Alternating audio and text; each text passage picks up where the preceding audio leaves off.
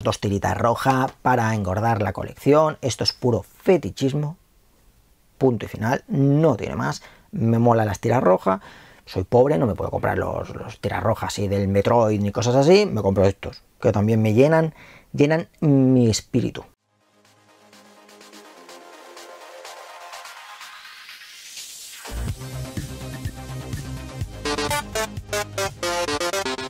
Muy buena gente, bienvenidos al canal y bienvenidos a un nuevo vídeo de compras. Me voy riendo porque esto es bastante épico. Es bastante épico. Hay dos cosas, hay cosas chulas, pero hay dos cosas que son realmente, para mí, top. Para mí. Después esto lo enseño en el Fomopoli y me llevo un cero. No pasa nada, pero a mí me gustan. También es verdad que quiero iniciar esto con una pequeña reflexión. Le me dio mucha caña a las compras estos últimos meses, ¿vale? Ahora bien, vacaciones, tiempo para relajarme, desconectar, hay menos curro, pasarlo en familia. Me lo quiero tomar con más calma. Esa es la idea, ¿de acuerdo? Quiero pues, comprar menos, no por el hecho de comprar menos, sino por no estar todo el día pendiente con los jueguitos y las historias. Eso es lo que quiero intentar, ¿de acuerdo, gente? Y una vez dicho, quedaos, porque hay cosas muy chulas. Hay de todo, hay un libro, hay cartelería, tira roja, cosas exclusivas del mercado japonés que me flipan y juegos firmados, juegos firmados. Vamos a empezar por vamos a empezar por la cartelería, que no lo voy buscando para nada, ¿de acuerdo? Pero bueno, mi mujer es de las que pregunta, cuando ve cositas y tal, pues va preguntando, escucha esto, ¿qué vais a hacer con ello y tal? Y nada, se lo llevo. ¿De dónde? No me acuerdo. Porque hace bastante que lo tengo por aquí, ¿eh? Hace bastante. Que nosotros que este, estos dos pequeños stands chiquititos de Link y de Zelda. ¿De acuerdo? Del, del nuevo, del Tears of the Kingdom. Y la verdad es que están muy bonitos, están muy bonitos, no son muy grandes, están chulos, están flamísimas. La verdad es que el estado está, está genial para haber estado expuestos y tal. Y molan, molan. Por ahora ahí se quedan, los tenemos aquí, estamos contentos con ellos, ciertamente, y no molestan, no molestan, ahí se quedan. Continuaremos con un libro. Los buenos de Cozy y Evix, os recomiendo que los sigáis, ¿vale? Eh, están en Twitch, están haciendo directos y tienen un canal de YouTube, enseñan cosas, tienen una colección impresionante, ¿de acuerdo? Pues en un directo comentaron que habían repuesto un libro que yo quería que se había agotado, que no es otro que el de Pez Engine, Pez Engine, decirle como os dé la santísima gana de Bitmap Books. Quien esté suscrito al canal desde hace tiempo sabrá que me flipan los libros de esta gente, sus ediciones son preciosas a nivel de maquetación, de calidad, es que son increíbles las fotos que tienen, de verdad, ¿eh? impresionante. Y aquí tenemos lo de siempre, que es un recorrido por la historia de la, de de la consola, las distintas consolas que hay, catálogo, etc muy chulo, muy recomendable. Viene con esta, con esta, os voy a enseñar un, pequeño paneo, viene con esta caja dura de, de cartón, ¿de acuerdo? Y después tenemos el librito, ¿vale? Que es precioso. Ya os digo, os voy a hacer un pequeño paneo, no os preocupéis para que veáis un poquitín lo que hay, la calidad, y creo que os va a molar un montón. A mí la gente de Bitmap Books me flipa. Ahí lo dejo. Continuaremos con un juego con dos juegos. Vamos a hacer este porque el otro tiene, tiene relación con otro juego y voy a hilarlo un poco si puedo. Sabéis que estoy con el tema de las tiras rojas de chill. De chill, cosas baratitas, que ahora se pueden conseguir, sobre todo ese y de Wii. Si veo algo, me lo pillo. Y vi dos juegos menores del catálogo de Wii que me los vendieron por 35 los dos, así que me los llevé. Este Wing Island, que la verdad no sé de qué va, bueno, va de aviones, obvious, ¿vale? Pero no, no, no lo he visto nunca ni un maldito gameplay, pero bueno, tiene la tira roja, está mint y me lo llevé. Y el otro es el Trauma Center, hay dos, dos de, de esta serie y me voy a hacer con los dos porque aún se pueden conseguir bastante baratetes, ¿de acuerdo? Pues dos tiritas rojas para engordar la colección, esto es puro fetichismo, punto y final, no tiene más me mola las tiras rojas, soy pobre, no me puedo comprar los, los tiras rojas y del Metroid ni cosas así, me compro estos, que también me llenan, llenan mi espíritu. Y continuaremos con una cosa que a mí me mola un montón, ¿vale? Que es un juego firmado. Hace poco quedamos con triple con Vix precisamente y eh, fuimos a la firma de eh, Francisco Tellez, que es el creador de Un Metal. Y aquí lo tengo firmado. ¿De acuerdo? Aquí está la firmita. El tema está en que yo un metal no lo he jugado, todo el mundo habla muy bien de él, genial, ¿vale? El tema está en que uno de mis juegos favoritos indies de todos los tiempos es un Epic, juego que yo precisamente no tengo en físico, muy mal, pero no lo tengo.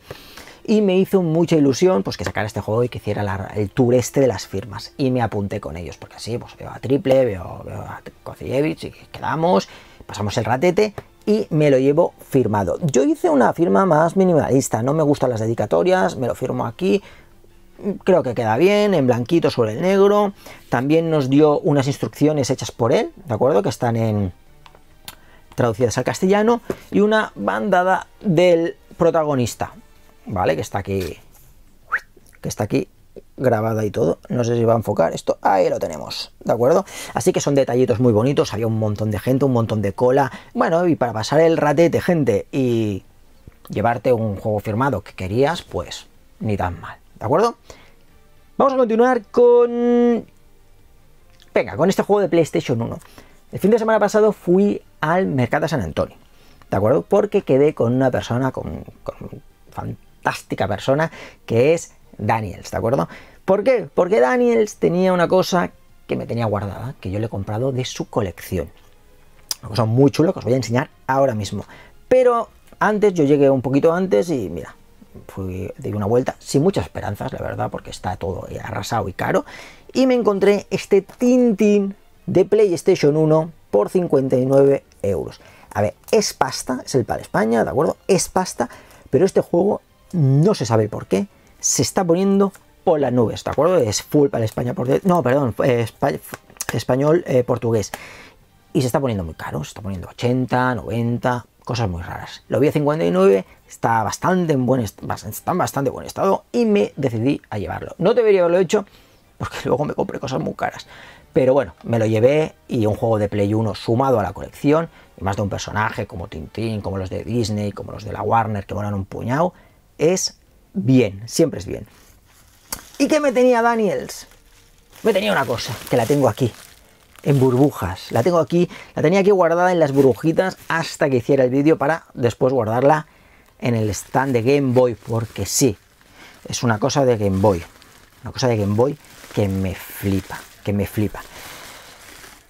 Ya sabéis que el tema de japonés a mí me mola, me mola bastante, ¿vale? Me mola bastante. Y las cosas exclusivas del mercado japonés, pues me gustan, me gustan, me gustan mucho. Game Boy tiene una consola que es especial y es exclusiva del mercado japonés, que es la Lite, que es la Game Boy normal, digamos, pero con luz. Punto, chimpún. Lo que pasa es que ganas mucho porque con la Game Boy, pues para jugar, pues eso, ¿vale? Y si a eso le sumamos una exclusividad, una edición exclusiva, que no se sabe las unidades que hay, pero contad que haya de 1000 a 5000, como mucho, de 1000 a 3000, de una persona súper conocida en Japón, súper querida en Japón, pues tenemos esta edición de la Game Boy de Astrobot de Tezuka, que básicamente es una verdadera maravilla.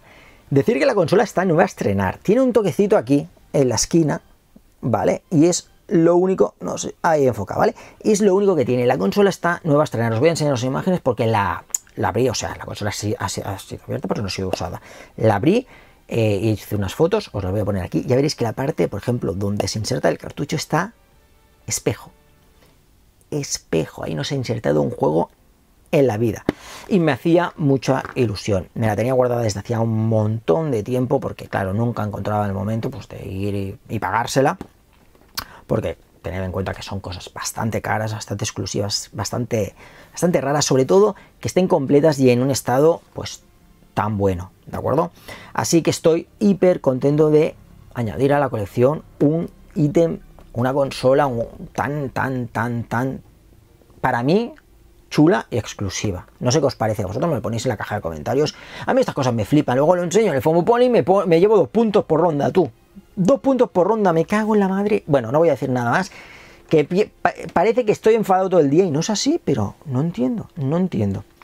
Y para terminar, esto se lo he pillado a Daniels y esto otro se lo he pillado a Mikey. Desde aquí un saludo a los dos, porque es lo que hablamos alguna vez, ¿no? Eso de poder conocer a gente del mundillo, gente tan top encima tanto, porque la colección de Daniels es épica, ¿de acuerdo? Y Mikey es un crack de lo japonés y tiene unas cosas que se te va a la olla. Pues Mikey me dijo, escucha, tengo una cosa que me voy a desprender de ella y sé que a ti te va a molar. Y yo dije, ¿qué es? Y me dice, pues es este recopilatorio del Nanko Museum de japonés, exclusivo del mercado japonés, con esta caja, con este cofre, con, esta, con este libro, ¿de acuerdo? Donde van todos. Como veis, aquí tenemos esta especie de, corbatita de, de, de digamos. Vamos por partes. Aquí tenemos el recopilatorio de Nanko Museum que sacaron en Japón, ¿vale? Que son todos los CDs más uno más. Ahora lo vamos a ver. Básicamente aquí tenemos los Pac-Man, los Xevious, los, eh, yo sé, Mrs. Pac-Man, tenemos el Rolling Thunder, tenemos juegos de la época en un formato muy bonito, en un recopilatorio muy, muy bonito. Básicamente esto se abre. Qué ruido, ¿eh? Qué ruidito. Y tenemos esta especie de libro, ¿vale? Muy bonito, que se abre y vemos los juegos dentro. ¿Vale? Os voy a hacer un paneo para que lo veáis bien. Están todos, los cinco más el encore, el encore, que es el raro. Con él te daban el cofre para poderlos tener todos pues bonitos y ordenados y presentados. Todos tienen su Spinecard. Eh, Mikey se preocupó de completarlos poco a poco. Esto tiene mucho trabajo detrás y es muy bonito, ¿vale? Y la verdad es que tenerlo, pues para mí es un orgullo literal. Y tenemos pues los cinco más el Encore con su Spine Card, todos perfectos. Incluso el Encore tiene, porque tenemos el espacio para la memory, esto no iba, pero el Encore te venían unas pegatinas donde tú la memory card podías personalizarla con el tema de Namco, Namco Museum y todo el rollo. Y me flipa me flipa, me flipa, me flipa, me flipa, me flipa mucho. No sé qué os parece a vosotros este tipo de cosas. A mí me parecen maravillosas estas ediciones japonesas. Los japoneses tenían un, gusto por el detalle que no es ni medio normal, ¿vale? Y tenían estas cosas preciosas que en Europa no acostumbran a llegar. No acostumbran a llegar, ¿vale? Así que hasta aquí el vídeo de compras. Como veis, pues hay cosas muy bonitas, cosas que me flipan, cosas que tenerlas en la colección me parece un sueño, literal, un sueño, y que hacen que esté orgulloso de mi colección, ¿vale? Muy orgulloso. Así que hasta aquí el vídeo, gente, espero que os haya gustado, espero que hayáis visto cosas chulas que no conocíais o que conocíais, pero que hacía tiempo que no las veíais y os haya hecho ese clic y habéis dicho, hostia, es verdad, eso no sé qué. Cualquier cosa ya sabéis, en la caja de comentarios yo os leo y os contesto a todos. Nos vemos en el próximo vídeo, gente. Chao.